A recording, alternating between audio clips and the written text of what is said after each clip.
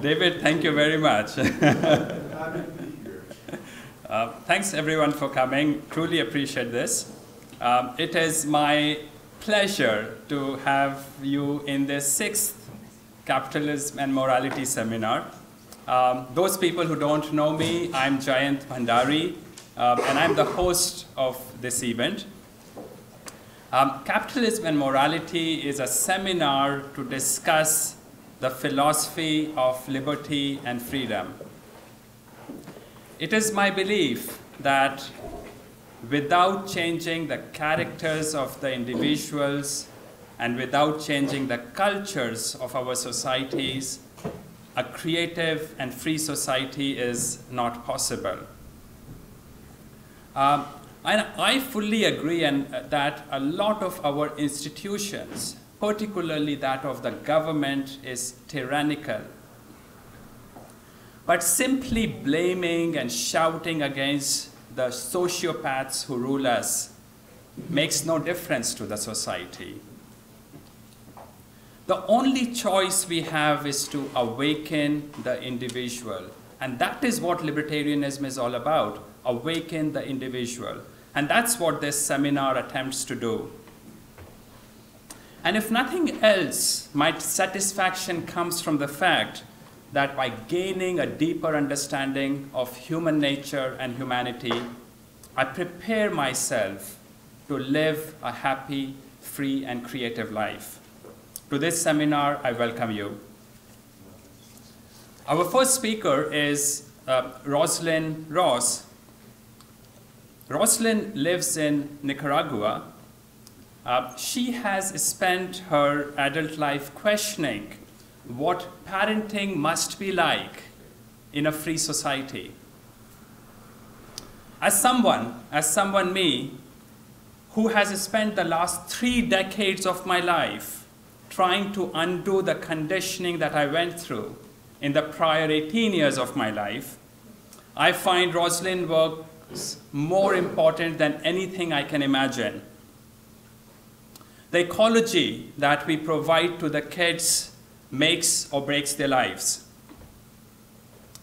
Um, Roslyn has recently published her latest book, A Theory of Objectivist Parenting, uh, and she runs a blog called Raising Children is an Act of Philosophy. And uh, right now she's working on, on her next book, which is expected to be published early last year. And the book is going to be called Raising Children in Reality. Uh, Roslyn has many intriguing thoughts, and I heard her for the first time at Libertopia in San Diego two years back, and I was enthralled. Uh, ladies and gentlemen, please join me in welcoming Roslyn Ross.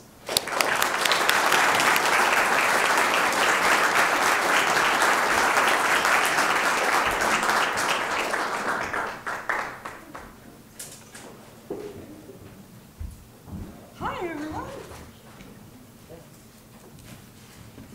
I have to have my timer going to make sure that I don't go over. And I might talk very fast for these reasons.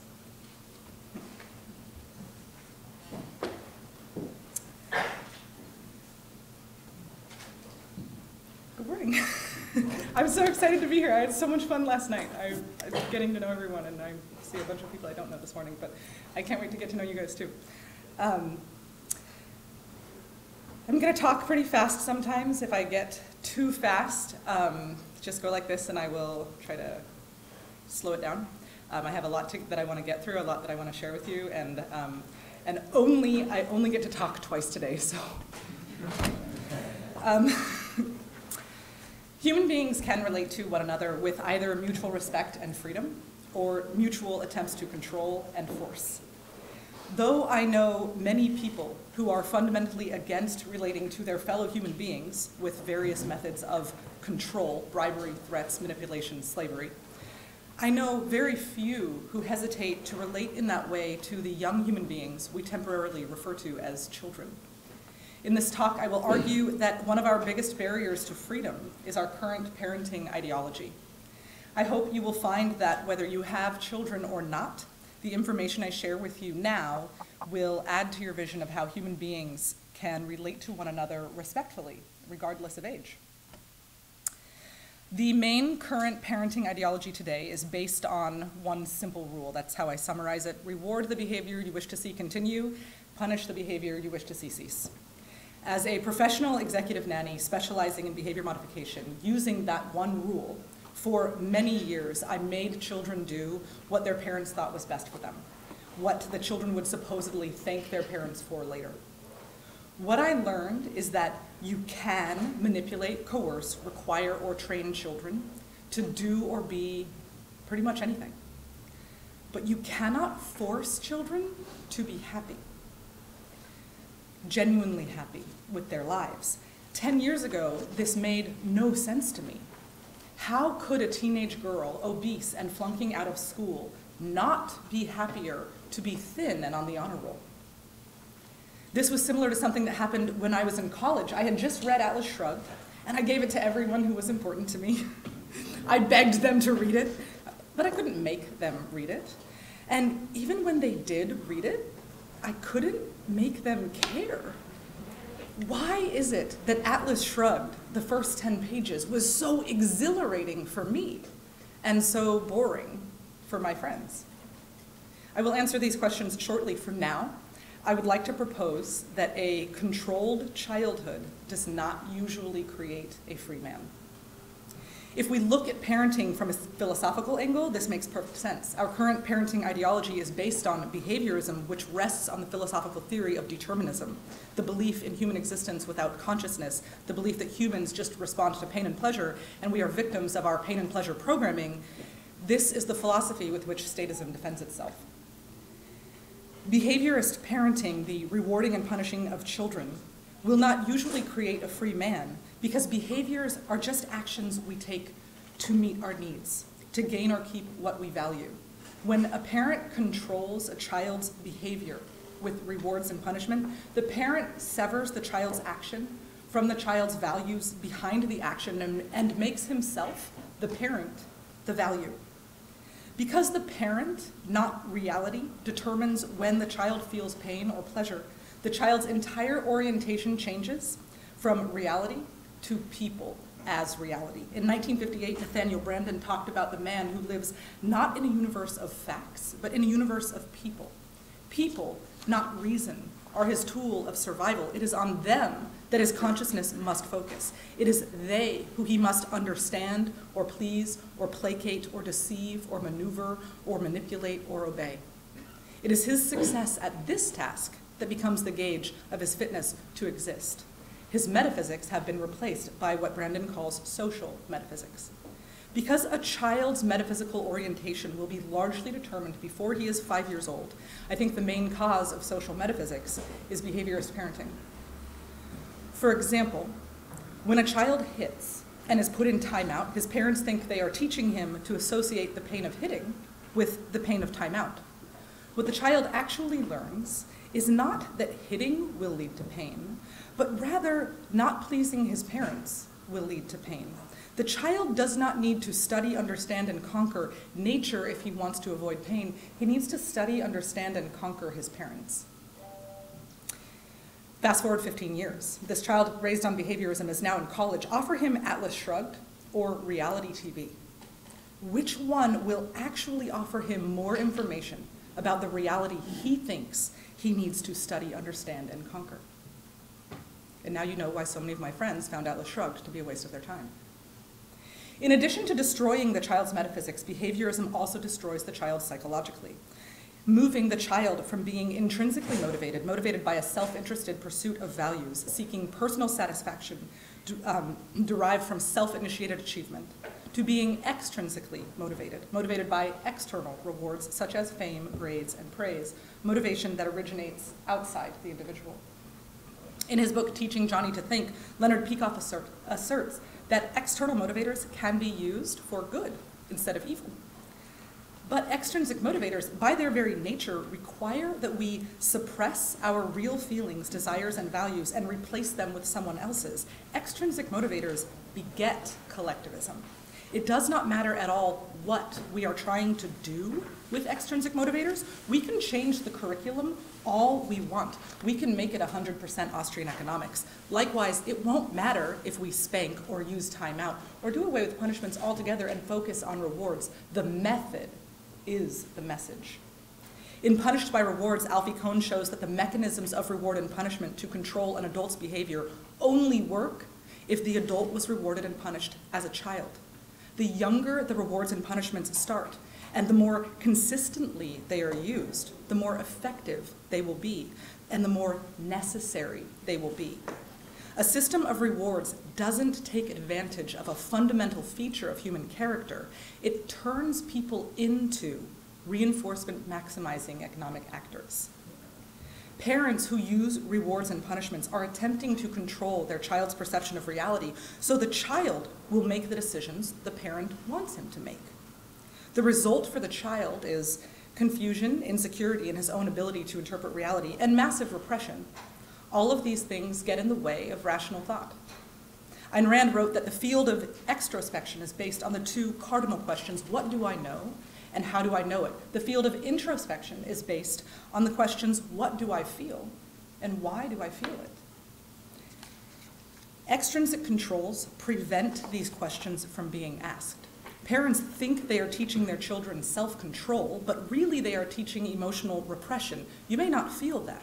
You may not talk to me until you have properly repressed what you are feeling. We do this to babies. Shh. Why are we shushing them? Aletha Solter wrote the repression of crying during infancy is so pervasive that most babies have well established control patterns by the time they are six months old. These behaviors serve the purpose of repressing strong emotions.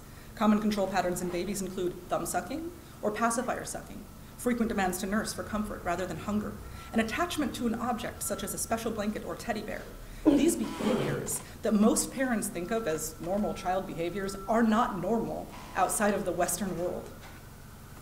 By the time they are ready for preschool, teachers expect children to have learned somewhat to control their emotions. But what is meant by control is actually repression. The emotional stress of repression often manifests itself as facial tics, another behavior we consider normal in our three to five year olds that is not normal in the human race. Extrinsic controls teach children to ignore the emotional information they receive from their own minds. The result is that children often fail to develop an intrinsic self. Instead, they adopt an extrinsic, unreal self. Hence the epidemic today of 22 year olds who have no idea what they enjoy doing just for the sake of doing it. They are motivated by money, prestige, winning, approval, and above all by pats on the head for being good boys and girls. They use behaviorism on themselves. They promise themselves a new outfit if they lose 10 pounds or a week of self loathing if they don't. And even if they read Atlas Shrugged and love it, they often don't know how to selfishly and righteously be themselves. Instead, they seek to be good little objectivists. Nathaniel Branden wrote about how many good little objectivists he saw in his practice, people who missed the point, people who were trained from birth to miss the point. When admirers of, he wrote, when admirers of Ayn Rand seek my services professionally, they often come with the secret hope that with Nathaniel Branden, they will at last become the masters of repression needed to fulfill the dream of becoming an ideal objectivist. I have known many men and women who, in the name of lofty beliefs, crucify their bodies, crucify their feelings, and crucify their emotional lives in order to live up to that which they call their ideals. Just like the followers of one religion or another, absorbed in some particular vision of what they think a human being can or should be, they leave the human being they actually are in a very bad place, a place of neglect and even damnation. Ayn Rand said, It's the hardest thing in the world to do what we want. Extrinsic controls make it the hardest thing in the world to even know what we want. This is why it seems that extrinsic motivators simply must be used. Research has shown that children's intrinsic motivation declines every year over the course of traditional schooling. By the time they are in high school, most children rarely display any intrinsic motivation whatsoever. Behaviorism creates the problem, for which more behaviorism is the only solution. But science shows that behaviorism will only ever work in the short term and will backfire in the long term. Experiments done on how to best impose the value of altruism on young children have shown that children rewarded for altruistic behaviors will only behave altruistically as long as the adult is there to approve of them. They will, be, they will behave less altruistically when adults are not there. This is why extrinsically motivated adults find that, like children, they're only good when someone else is watching. This is another impulse of collectivism. People want someone to make them do what they can't make themselves do. They say they vote for a nanny state to keep the bad people under control, but subconsciously they want a nanny for themselves. This is also one of the impulses of some religions. If you can only be good when someone else is watching, they have a solution for you. This is what I didn't understand 10 years ago. You can get children to do or be pretty much anything, but goals achieved through external motivators will not make the child authentically happy. But what about for parents? Being in control of one's children, playing the part of a serene, loving dictator, it makes parenting seem so awesome in our heads. In reality, we can't be present with our child in this moment, if we're busy thinking of ways to get him to do what we want him to do and monitoring to see if our strategy is working, we can't allow ourselves to be visible to the people we are trying to control. So you can't actually connect with your child. When we are controlling people, we can't allow ourselves to be truly seen by them because then, or, I'm sorry, we can't allow ourselves to truly see them because then we would see the pain and suffering we are inflicting on them. So our tendency when we're controlling other people is to see their feelings as not real. That's not real pain children suffer when they cry. That's why controlling relationships can so easily lead to really atrocious behaviors because our tendency will be to fail to see the person we are trying to control as a person. As with slaves or women or savages or heathens, we transform our adversary into something that needs to be controlled. Oh, children, they're irrational like rats. They feel safer when we control them. They need it. Even if we do see the feelings of those we control as real, our tendency is to convince ourselves their pain is okay, it's for their own good. In controlling relationships, the controller has a tendency to feel that he has not chosen to be in a relationship with those he is controlling. Rather, he sees himself as responsible for them, for their welfare, for their souls. It's hard to enjoy a relationship that is actually a duty. Since the parents don't see their children as real people with whom they can connect, they often end up putting on a show for example, a man might play the role of good father and mow, mow, the lawn and take out the trash and read to the kids and do bath time and help his wife with the dishes and get the highest paying job he can and work his butt off. And at first, he will pat himself on the back as he thinks, I am such a good boy. But after a while, he will start to feel like being a good father is a huge obligation, a chore, a long list of things to do. And if he could admit it to himself, he might find that he resents his wife and children, whom he now sees as his slave drivers. But it's not them, it's the role, it's the lack of conscious awareness with which he is living his life. When we are playing roles, we have a tendency to not take responsibility for our choices. For example, someone playing the role of soldier or policeman may not very closely examine what he's doing or even feel responsible for the morality of his choices if he sees it as part of his role. He's just doing his job. Controlling relationships have a tendency to be exhausting. It takes a lot of energy to be an inauthentic actor to do what we believe we should do, to be good moms and dads, to suppress our true selves and how we really feel about reading the same book a hundred times.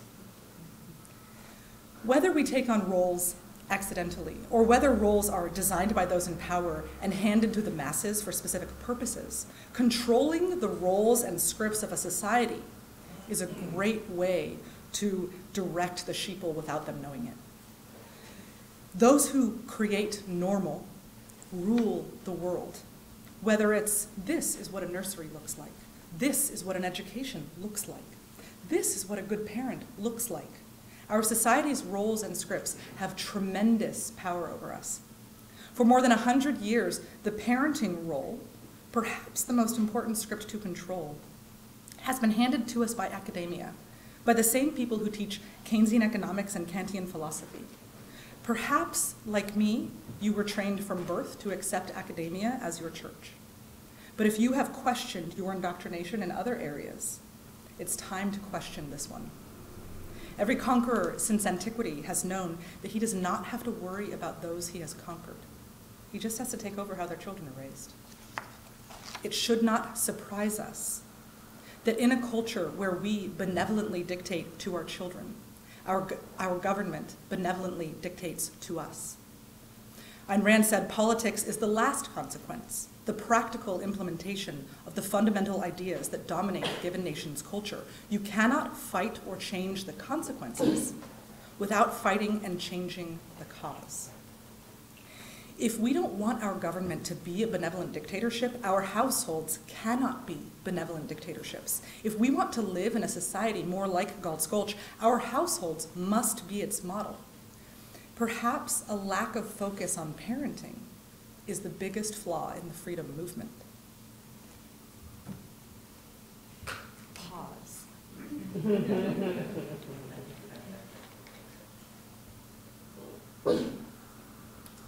Good, I'm making very good time. Yes. Okay. Um, human beings can relate to one another with either mutual respect and freedom or mutual attempts to control and force.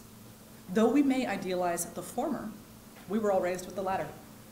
This makes it very hard, even for us, to imagine any other way to parent. William Thomas wrote, Children have to be restrained from doing what they want to do and forced to do something else. They have to be put to bed and made to wash. We have been offered this dichotomy our entire lives. Either we control our children or they live lives of chaos. Either we make our kids go to bed and wash or they won't. If that were the choice, I would agree with Thomas. But that choice is a trick. That is not the choice. Similarly, Nathaniel Branden advises parents to be warm but authoritative, and cites a study that was done in which four types of parents were studied warmly authoritative, coldly authoritative, um, warmly permissive, and coldly permissive. Again, if those are the only choices, then by all means, parents should be warmly authoritative. But again, what we are being offered is a false dichotomy that only makes sense as long as we are stuck in what I call the operating system of control and force.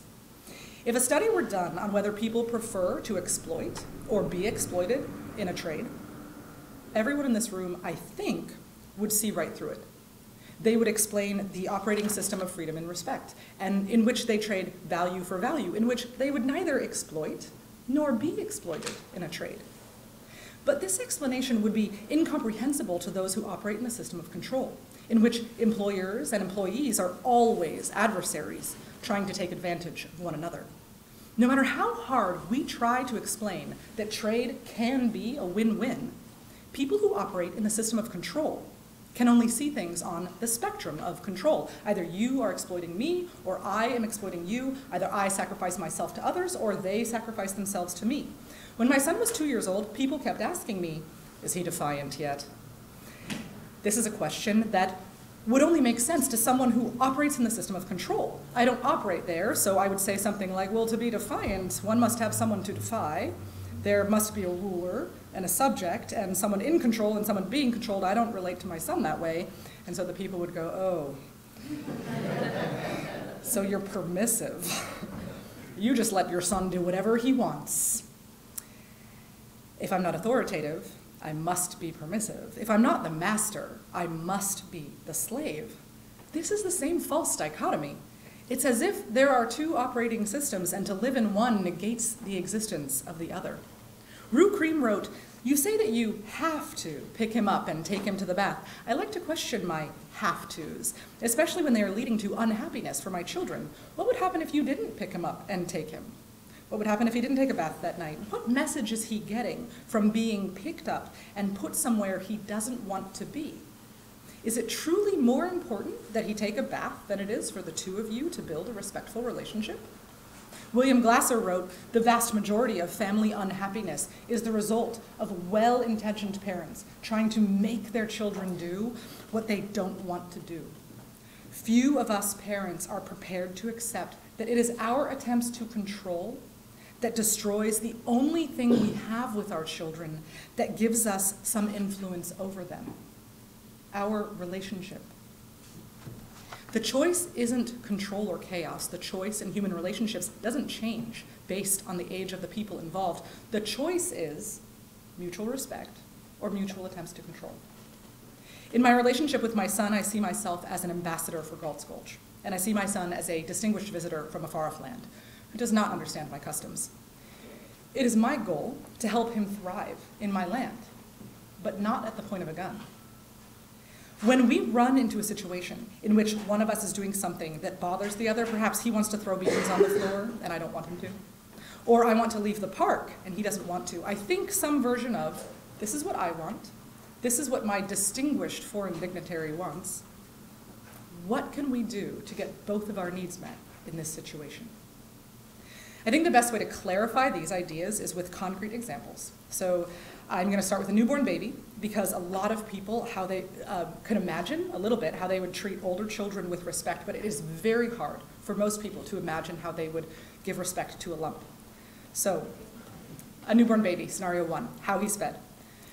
The controlling mom sees it as her job to get food into her baby. So she brings her baby to her breast, tickles his cheek to trigger his mouth opening reflex, and puts her breast in his mouth. My proposed respectful mom does not think it would be respectful to just put something in someone's mouth, even a quadriplegic. She brings her baby to her breast so that her nipple is near his nose and mouth and he can smell what she's offering. If he wants to nurse, he, nurse, he is capable of opening his own mouth and doing so. Scenario two, a newborn baby and when he's fed. The controlling mom believes that to be a good mom, she is supposed to feed her baby every two hours. She has a handy little device that goes off every two hours so she knows it's time to feed the baby. If he acts hungry before the two hours is up, she distracts him so that he learns to wait two hours. The respectful mom thinks refusing to feed her distinguished visitor when she is capable of accommodating him is disrespectful. So she feeds her baby when he's hungry. Maybe it's been one hour, maybe it's been three. Assuming these are interaction patterns and not single events, here is an analysis of what this newborn has learned. The respected baby is responsible for his eating. His mind is learning to connect the sensation of hunger with the solution, food. He must learn to recognize the sensation of hunger and communicate it to his mother. He has found a benevolent universe and he already sees himself as a capable actor in it. The controlled baby has food shoved in his mouth whether he wants it or not, and it will be done when the clock says whether he's hungry or not. In his mind, the connection between hunger and food has not been made. Likewise, he has learned nothing about communication or self assertion, except that there's no point since it doesn't work. This baby will oscillate between feelings of frustration and anger as he fails repeatedly to communicate to his mother, and passive resignation as he tries to accept the universe that he has found. For the moms, the respectful mom is getting in tune with her baby. The controlling mom is getting in tune with her alarm clock. And whether she means to or not, she's showing her baby who is in control. It's not him. It's also not her. It's the alarm clock and the script it represents. She's just doing what she's been told. Scenario three a teething one year old bites his mom while nursing. The controlling mom believes it is her job to teach her child not to bite people. So she gives him a disapproving look. She says, Bad boy, no biting. And she picks him up and she puts him in timeout for one minute because that's how long timeouts are when you are one year old. The respectful mom first responds authentically to what happened. She says, Ow, you hurt me. She looks her baby in the eye, communicating her pain, and says, Please don't bite me. But she looks around and grabs a nearby doll. You want to bite? Here's something you can bite. It won't hurt the doll. Analysis. The controlled baby has learned that he is bad, that his desire to bite is bad. He has learned that some people get to control others, that he is not the one in control, and that he has to please those in control or he will suffer.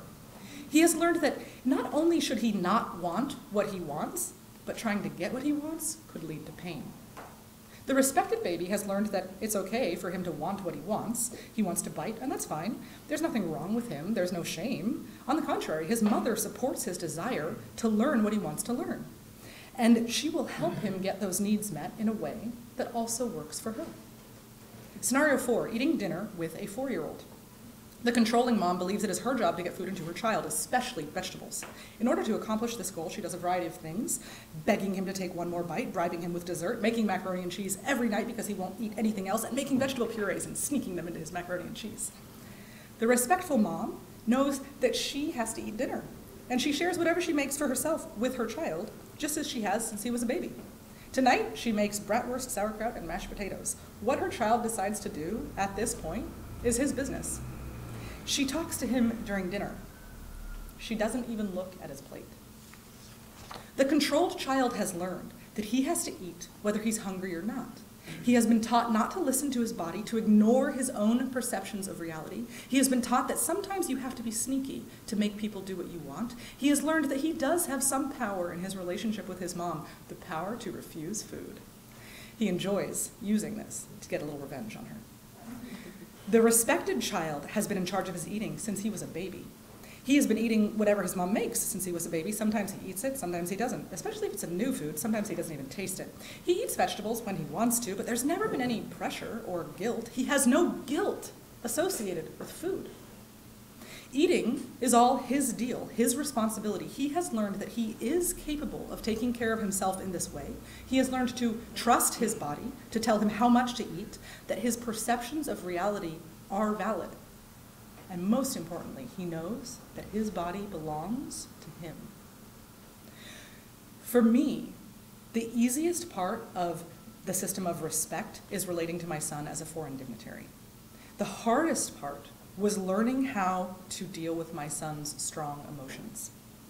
All children and adults experience very strong emotions.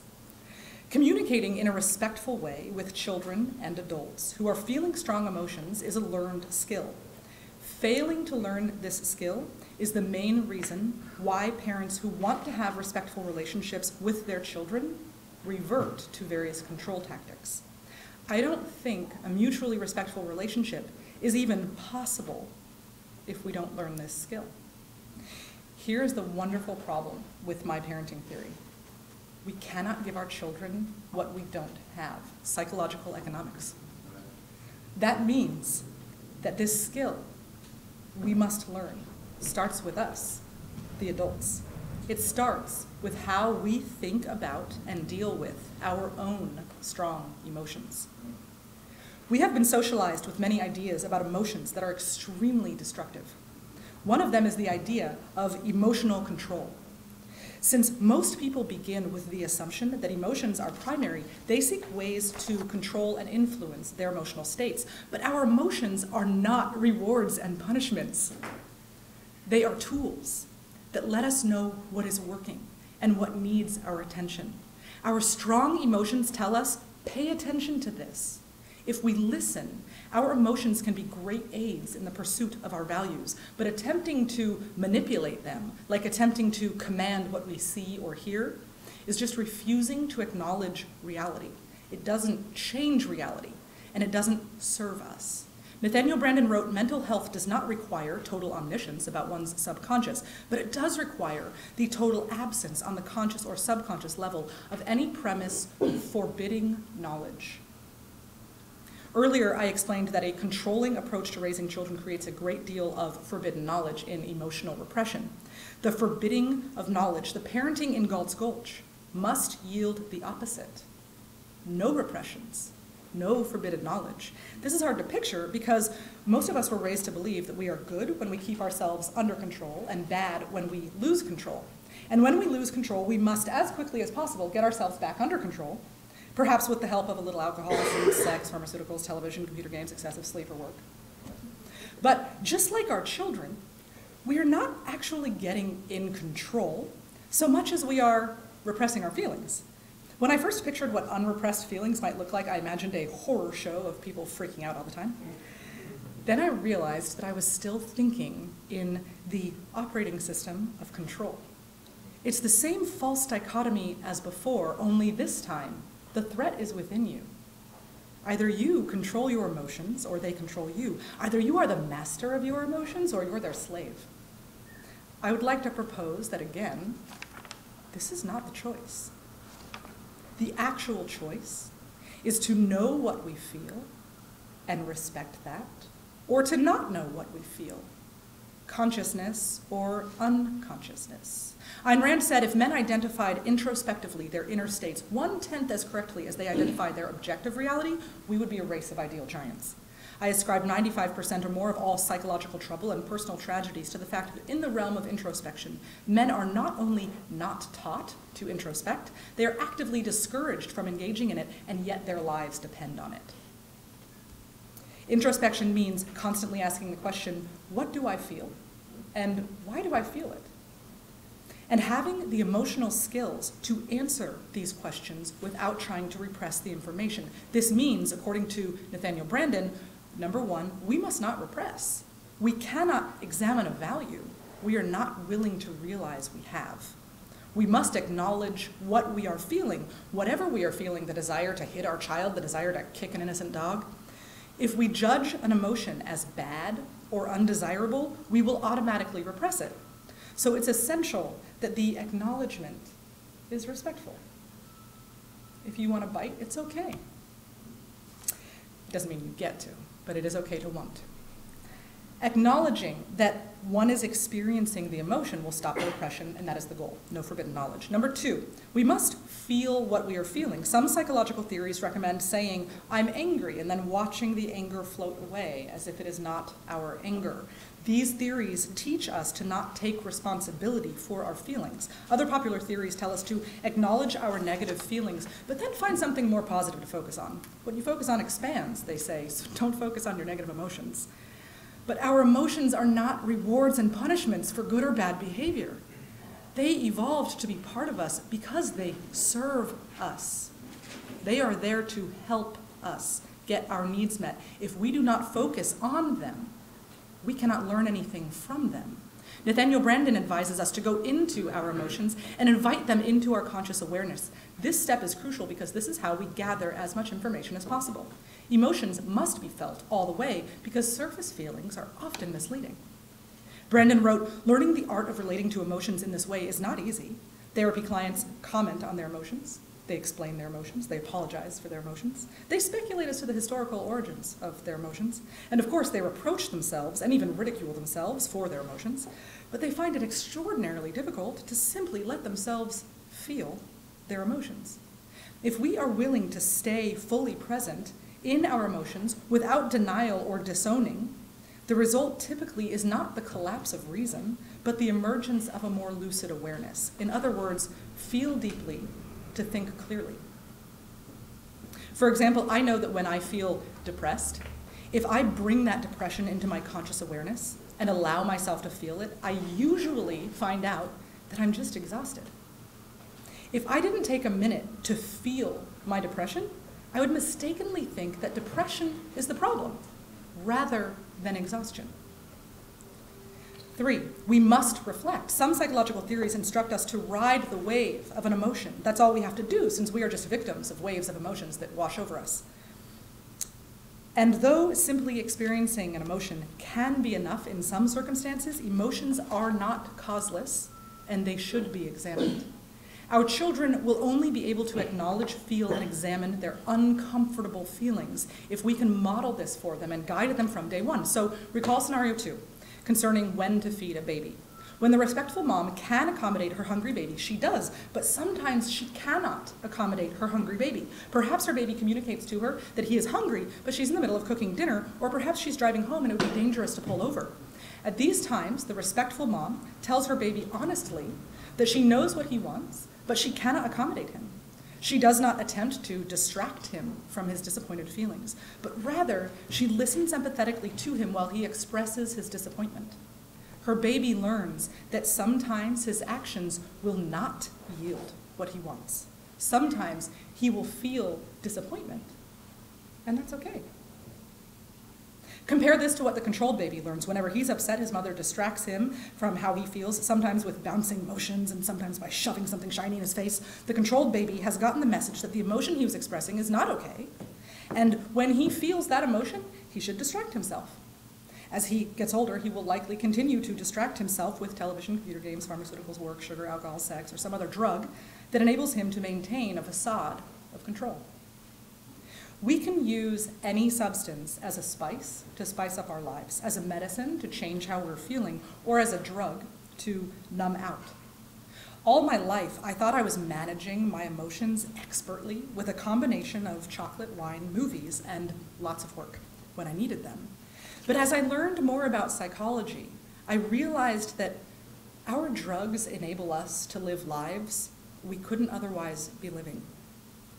Without our drugs, if you have to feel what you're feeling, and what you're feeling is miserable, those very feelings, that very torture, is what will lead you to change your life, to make decisions that will lead you to a life that you don't need to medicate or numb yourself away from.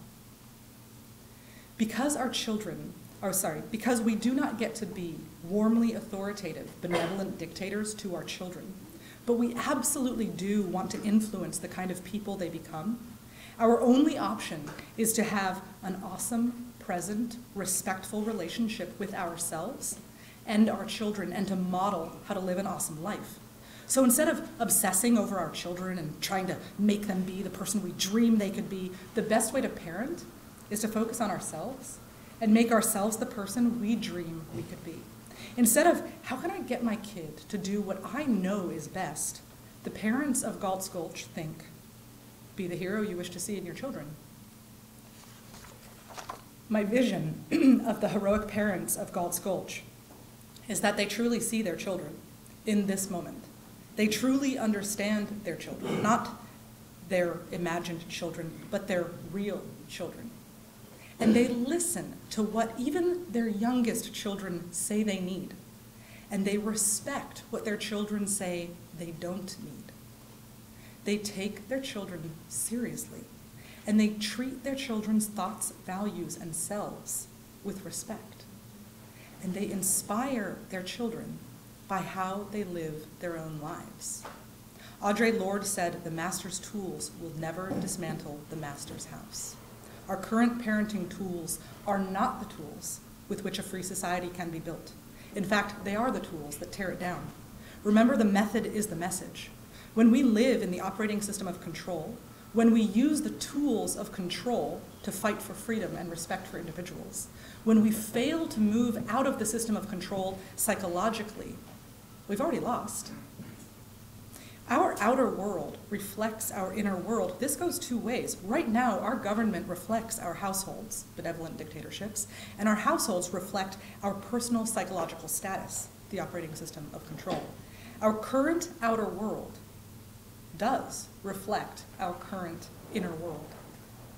If we want our outer world to be one of freedom and respect, our households and our own personal psychology must reflect that.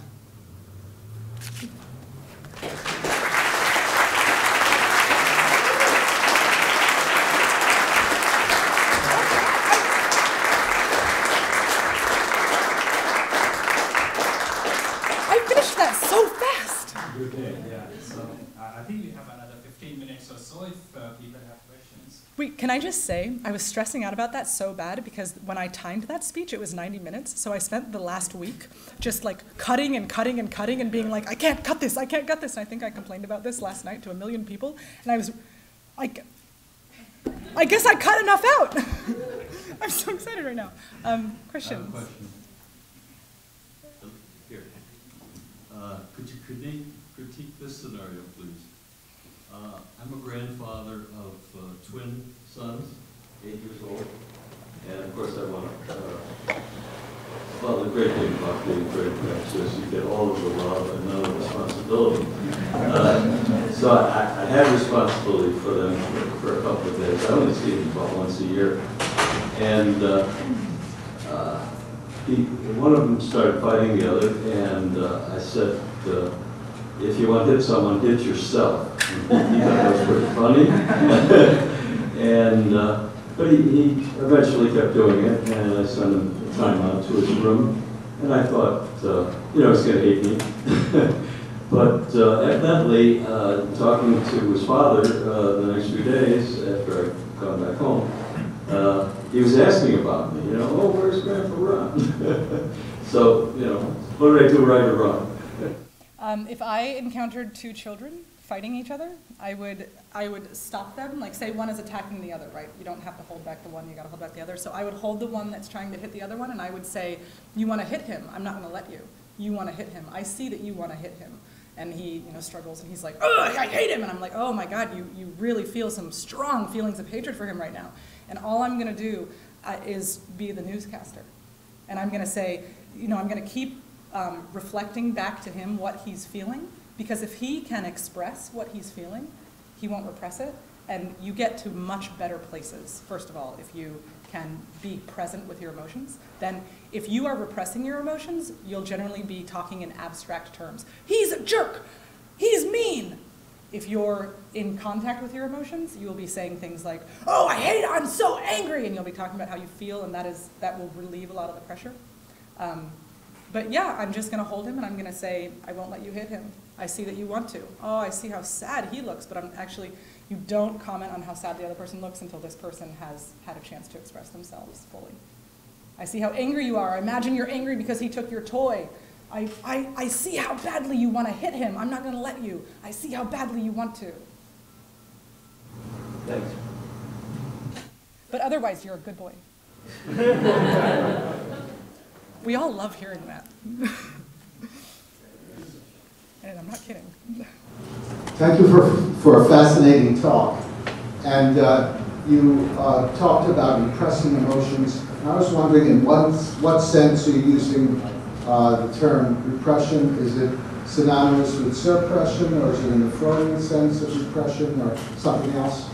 Uh, it's in the Nathaniel Branden sense of repression. And what, how's that defined?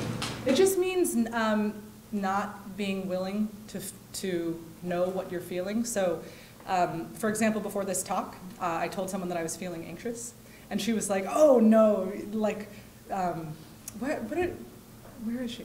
What did she say?" And I was like, "Actually, it's really important for me to acknowledge that I'm feeling anxious because that that brings the feeling to the surface, and then I don't have to uh, stuff it down."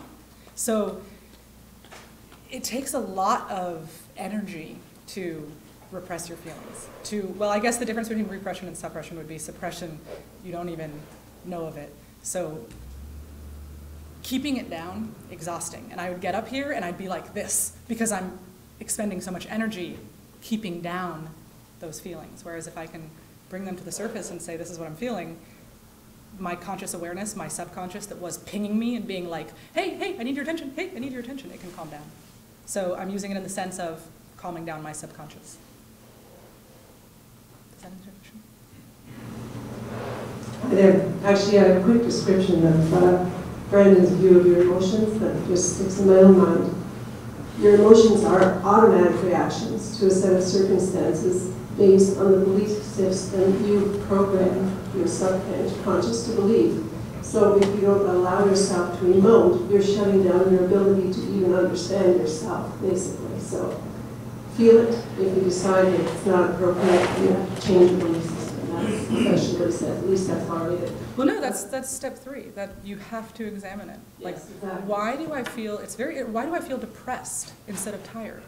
What what um, abstract rule in my head makes it more shameful for me to be exhausted than to be depressed? Right. It's it's better to be sad and miserable than it is to admit you're tired and you got to go home and take a nap. And a lot of that is the feeling guilty because you're not doing what you were trained to do when actually you were probably trained to do something that's totally appropriate, or could be. Uh, Actually, this is an extension of the earlier question. Uh, At what, in what way, when you allow the uh, expression of emotions of children, even if they're not in the presence of you or someone who can provide the guidance, how do they learn about property rights? Including ownership of themselves and the ownership of the, the extension into private property. I don't understand. Well, you were saying you can hold them from hitting somebody if you're there. Right, and allow them to express themselves, but if you're not there, how did they learn about property rights? Well, okay, so for example, my son, he knew about property rights by the time he was like one. He was like, if a stranger tried to pick him up, he would be like, oh, hell no, you do not touch my body. And today he's four, and if somebody even like elbows him, he'll be like, excuse me, this is my body. You can't touch it unless I give you permission. Because I've, I've raised him to believe that he owns his body. And even when he was an infant, I would, I would say, you know, I'm gonna pick you up now. May I pick you up now? I'm gonna, I'm gonna take you to the changing table or whatever. I'm, may I pick you up? And I wouldn't pick him up or touch his body until he would look up at me. And I would pick him up and take him. So he has very clear property rights. He also, you know, he gets to own his stuff. So he knows that he can destroy his toys, but he may not destroy mine. Um, so he's pretty clear. But it doesn't mean that there aren't moments when he would really like to break my computer or my phone or something. Um, and, and so that's, that's a different situation. Um, what was, wait, what was the second part of your question? I'm sorry, I do not have What a would, memory. what would you do if you did computer? Oh, and then I came in later. Okay, so I'm not there to stop this horrible thing that happened and I walk in later. I'm gonna talk about how I'm feeling. I'm gonna say, I see my computer is broken. Oh my God, what happened? I'm feeling so angry right now. Oh my God, I could just explode. That's how angry I'm feeling. I would express how I'm feeling. And I would talk about I, though. I wouldn't say, you are bad, like I wouldn't talk about you. I would talk about I. And I would, and I, if, I, if, if he broke my computer, I'd probably need to first be angry and then I'd need to cry. Most of us, like, I would just need to cry. And he would get a chance to see me. He, he'd get a chance to just, and, and he has seen me, like, be very upset about something. And, and he gets to watch, like, oh, this is, this is what happens if I do this. And he gets to decide for himself, do I like this? Do I like causing this person this much pain? Was that fun for me? I thought it would be fun, but it's not actually fun. This is actually really miserable. Uh, When I get upset, my son usually tries to give me a hug. He's very, um, he's, he's pretty skilled emotionally as a four, for a four-year-old. I, I can see that he would uh, feel bad about causing a bad emotion. At what stage do then learn about the responsibility not someone person? Well, I would say that he's he tries already. Like he he's always tried. Like he's always. But I, um, from what I've read, it happens later than you want, but it happens for the right reasons. So it's probably going to be around the age of six to eight is when they really start to internalize their own feelings of morality. Um, and, and it's, it's beautiful, but it also, it doesn't happen as often as you want. There are times when people desire to hurt other people, and they're not trying to, I mean, this is, again, my son isn't four, isn't eight yet, so I'm not talking from personal experience now. I'm talking about what I've read, about other parents who raise their children this way. So it happens later than you want. Uh, It was nice, nice meeting you, and thank you for encouraging me to come. Uh, It was uh, very good. A question I have is, how would spirituality or religion fit into this way of living and parenting? Because I heard you mention that at the beginning, so I'm just interested to hear that. I mean, that's a huge, can you give me a spirituality or a religion? I mean, you had mentioned that if someone were to follow like a spirituality, a religious belief, or and there was this greater being, how would that fit into, into this way of parenting, and how would you incorporate that? Okay, so I think the way to answer your question is um, a if if I if I need a greater being in my life or a spirituality, it has to reflect um, my ideology. So right now, um, for example, the the Christian religion that creates a king on high who gets to tell you what to do, that's a problem. Um, that's a problem for people who want freedom because their entire basis in life is to follow what this guy said and not to be follow their own individual sense of right and wrong. Um, but I know that people interpret it different ways. I'm, I wasn't raised religiously, so I'm not an expert in religions. Um, what I do know is that creating a situation in which someone is, is watching you and judging you isn't going to lead to a very healthy place. Um, but there are a lot of other religions too. Um, I know the, the, the Buddhist religion, um, Nathaniel Branden has written about that. Again, I'm not an expert, so all I can do is say, I read something that Nathaniel Branden, wrote about Buddhism, um, in, in which um, it's, it's a, you don't take responsibility for your emotions, and your goal is to be like the master, the supermaster of repression. But If someone was following Buddhism or Christianity or some other form of religion or spirituality, but let's say it was, it was working in their life and it was, it was healthy and they were living, you know, it was working, and would you recommend changing it and trying not to follow the master? How, how would that, how would that play? I don't really understand. If you believe in something, the only way to change that belief is to come in, is to get out of your abstracting brain, come into your perceptual brain, and re-perceive. So you you can't top down it. You can't say, all right, I've rationally decided that I will never do, I will never think X, Y, and Z again. What you have to do is bring conscious awareness. So you bring presence and conscious awareness. If you re-perceive reality and you decide, okay, so there isn't there isn't a God like I thought. Um, you will still probably have to do that many times before it becomes your new abstract rule.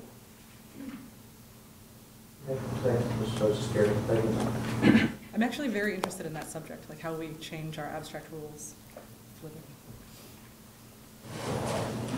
Um, Yeah, my, my children are, um, are in their early twenties, and, and I've sort of, uh, so I've kind of muddled through and made it up as I went along, didn't have a tidy theory. Um, and I think I brought them up with a, with a disastrous, um, combination of behaviorism and respect, I don't know. Anyway, didn't- it seems to turned out all right. Um, but what I was gonna say about your, your, uh, this scenario of the, the computer breaking and, and showing your emotions is that I don't think you can get away from uh, the fact that parenting is a bit of a performance.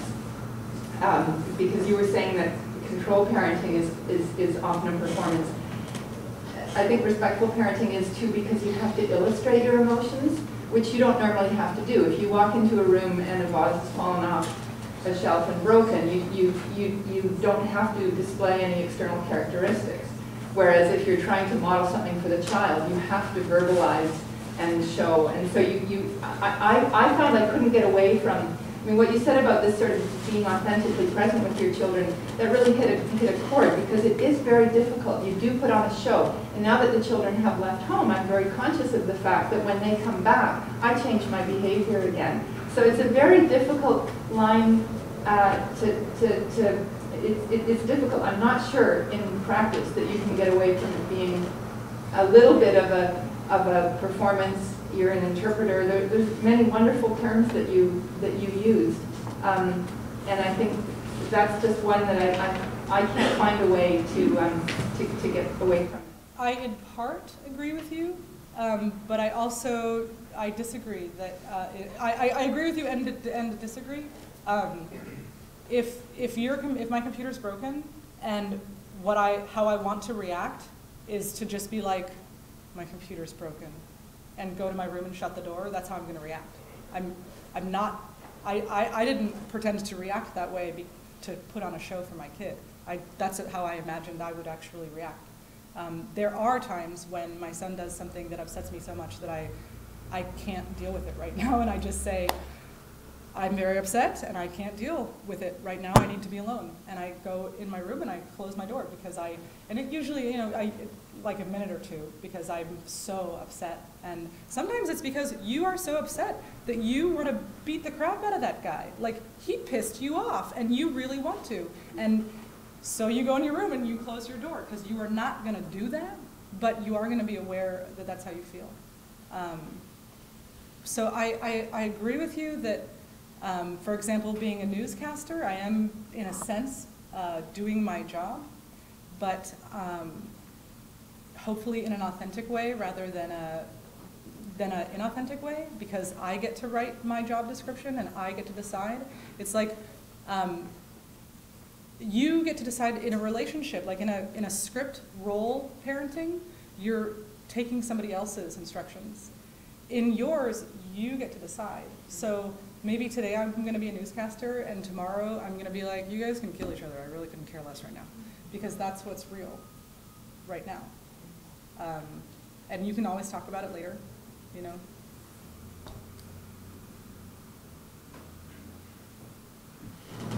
Well, thank you for the talk, I really enjoyed that. But it's, it's never gonna be perfect. No. I don't wanna like present a, you know. At my household, my parenting is perfect. My child is perfect, I'm perfect, like, I don't wanna, You mentioned um, either master of your emotion or slave to your emotions. So, I've questions. At what age can a young person become master of their emotions in your mind? And then a question about conflict resolution. Two young people fighting over a toy.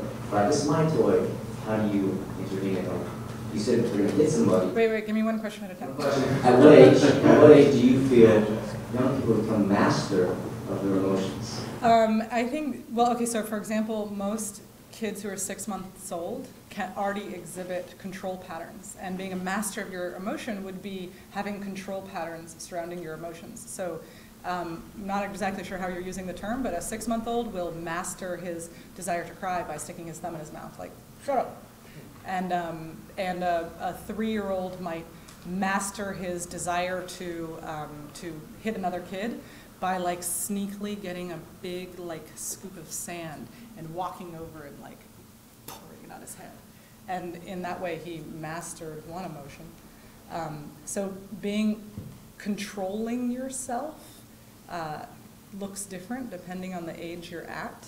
I know that preschool teachers require children to be able to control themselves to a certain extent by the time they're three. It's like your kid better be able to not hit other children most of the time or bite them most of the time.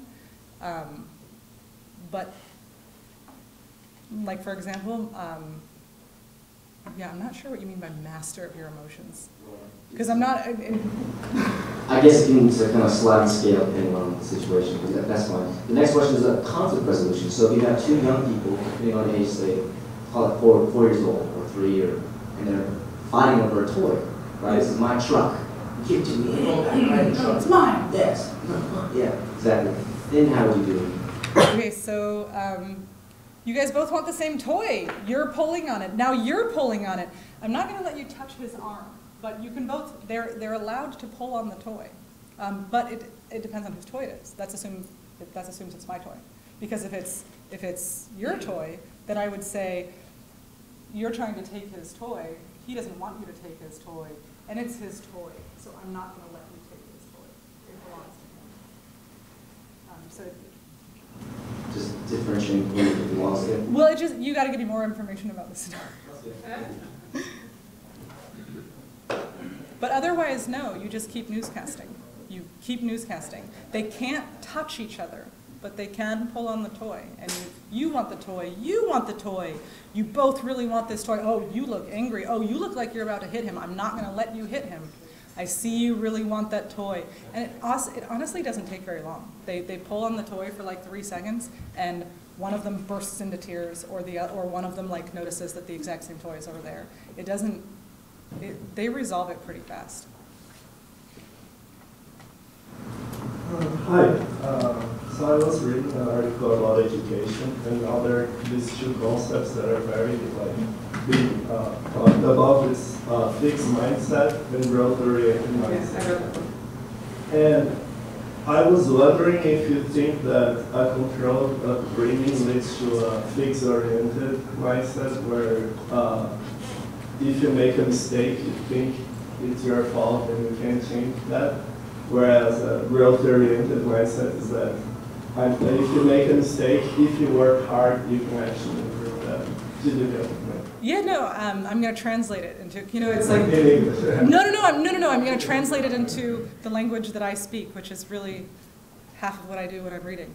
Um, um, you create abstract rules, and a person in a fixed mindset has created a set of abstract rules by which he's gonna live his life, and he is, he cannot make new ones. He's really bad at creating a new abstract rule for a different situation. So he had this abstract rule that to be a good boy, he needed to eat a lot. Because you know that's his mom always told him to eat a lot but now it's not serving him because now he's like 20 and he's just gaining a lot of weight. And that abstract rule to like finish his plate is no longer serving him but he finds that he still always finishes his plate. Like what? So um, in order to make a new abstract rule he needs to re-perceive.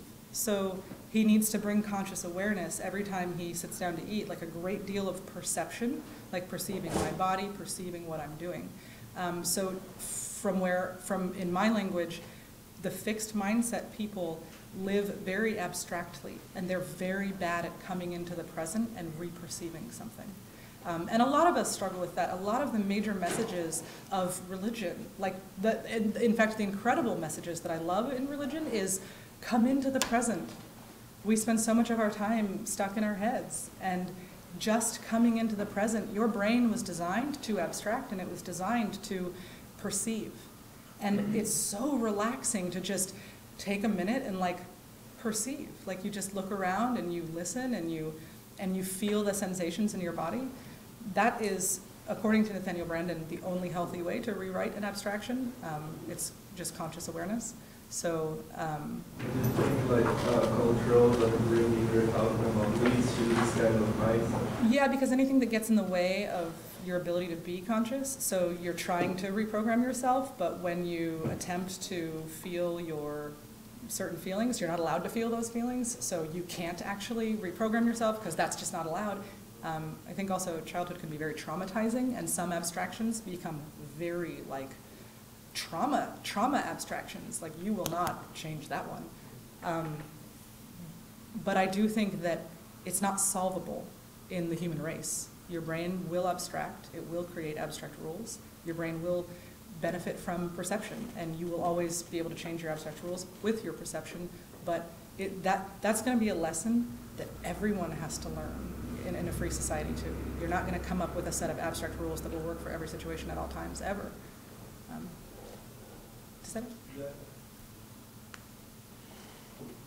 Yes, gentleman in the cowboy hat.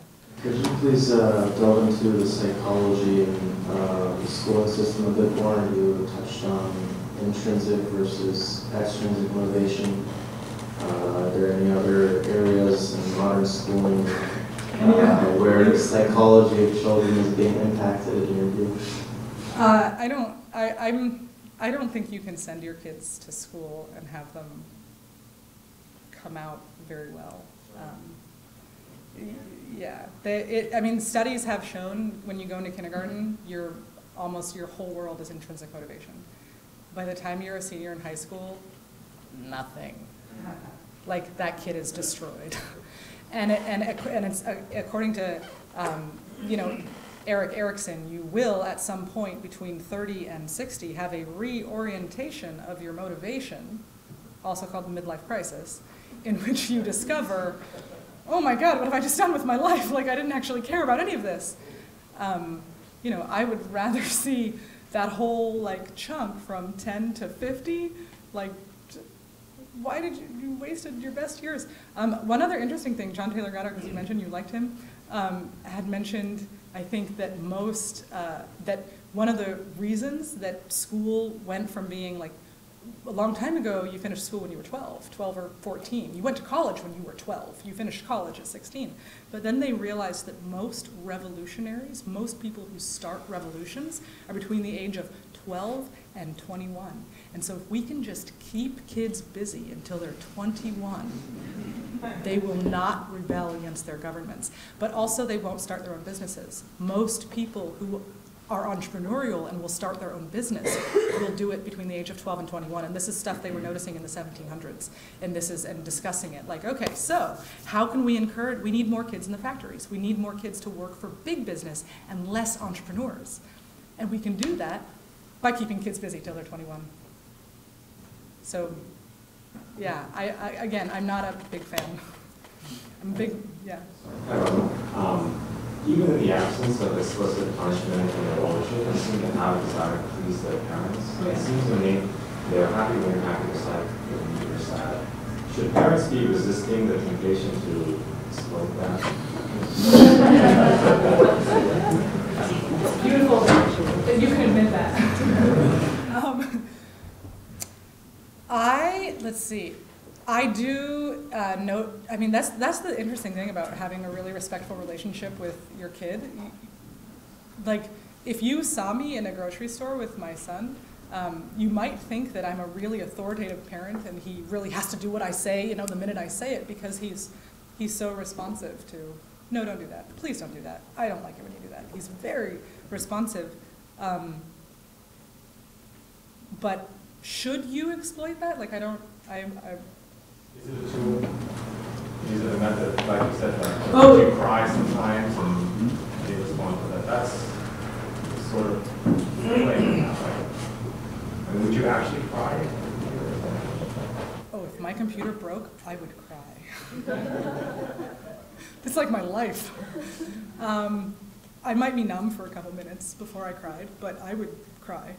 Um, but uh, I, I, yeah, I don't try to exploit. No, oh, like no, I don't try to control my son. Like I, I'm very like, um, or my husband. You know, it's like if you.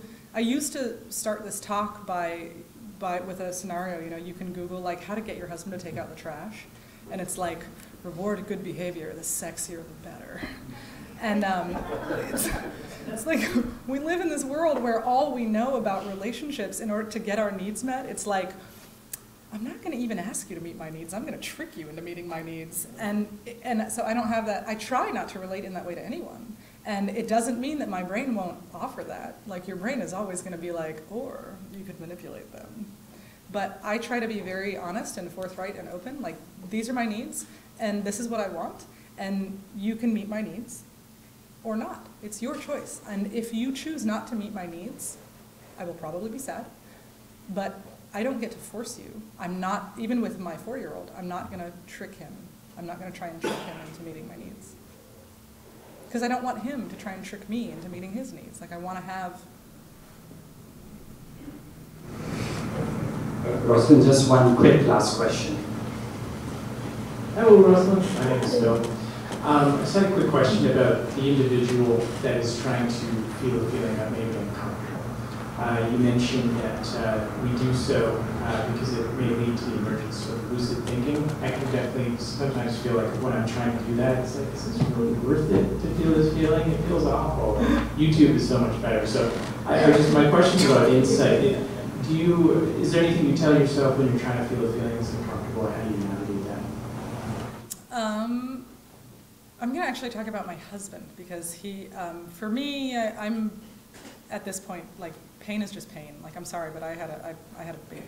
Like, pain is just pain. It's not really that big of a deal. Um, but uh, my husband, for him, uh, he used to go to work and then come home and deal with his exhaustion by numbing out in front of the TV. And after he started to learn more about psychology too, he decided he wasn't going to allow himself his drugs. And I do the same thing. I am allowed to watch TV, have alcohol, have chocolate, but only if it's a spice to spice up and enrich my life. If I'm trying to use it to change my emotional state or as a or to numb out, I, that's my new abstract rule. I don't do that. So unless, well, I can do it, but I have to bring conscious awareness to it. So, um, but my husband would come home and just sit down and it's like this this dump because you haven't perceived the whole day. All of these things you would have perceived like your back is uncomfortable you had to go to the bathroom you were hungry like all of this this you've been up here and you're exhausted. And so he would sit there and he would just be in pain like what you're talking about. And it was miserable and uncomfortable. And he would talk about it. And what he found is that in order to numb out and recover and then get back to being a regular guy, it would take like 15 hours of numbing out. Like he could watch TV for 15 hours. But if he just took the pain, he would sit there on his bed and just be like, pain, for like two and a half hours. And then he'd get up and he'd hang out with us. And I was like, this is amazing. Like he has so much more time. Um, but the other thing that happened is that he realized he couldn't live in LA anymore and wanted to move to a farm in Nicaragua. And that's, I mean, this man has been talking about doing that for five years, but it wasn't until he stopped doing his drugs. Once he took away his drugs, he couldn't keep living this life. I mean, it really is like you use your little numbing thing to get yourself to do what you honestly probably shouldn't be doing. Rosalind, thank you very much.